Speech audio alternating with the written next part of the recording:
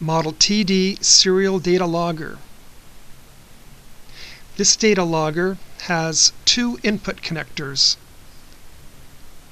male and female.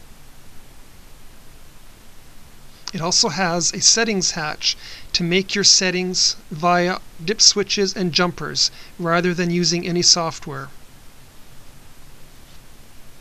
Install the flash drive, also called thumb drive. Model TD creates a single file, always named recorder.txt. Plug in the power, cable, and drive in any order. Send some test data. The data LED will come on. Also, the busy LED will come on. When the data is ended, the busy LED will stay on for a few seconds. Then you can remove the flash drive. Install the flash drive on the PC and look at the log file.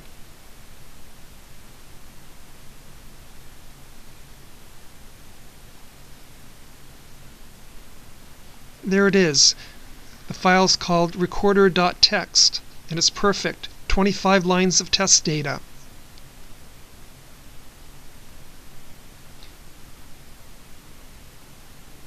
Now we'll reinstall the flash drive into the logger and append some data to it.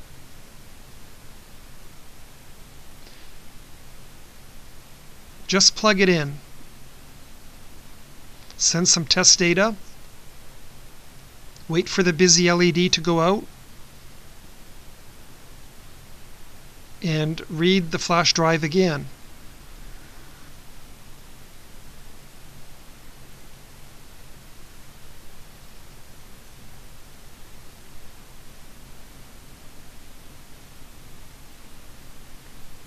Open the log file and there it is.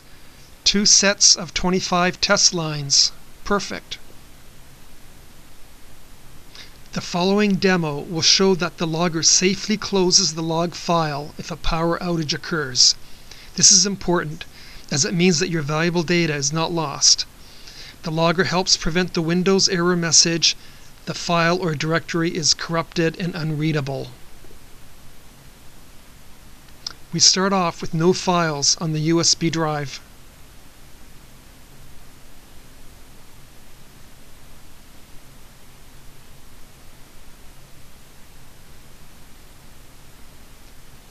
Okay, it's confirmed. This folder is empty. Remove the drive and install it in the data logger. And remember, you can power up in any order and connect the cable or US drive in any order. Send some continuous test data.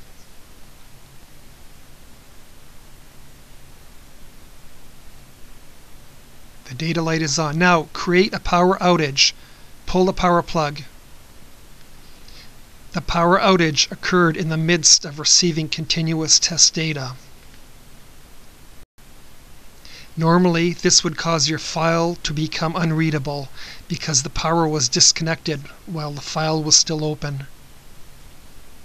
Install the flash drive on the PC and confirm that the log file does open.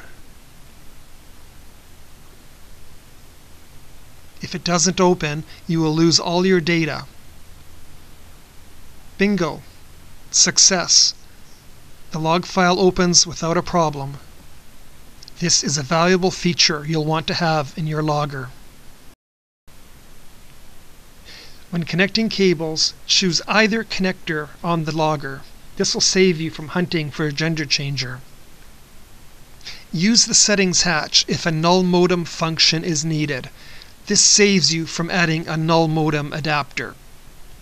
Easily attach DB25 cables Use either the male or female DB9 connector on the logger and use the built-in null modem function if required.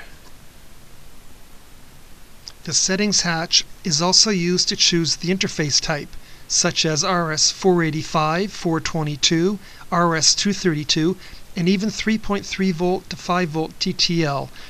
where you can connect directly to a microcontroller pin. Thank you for watching.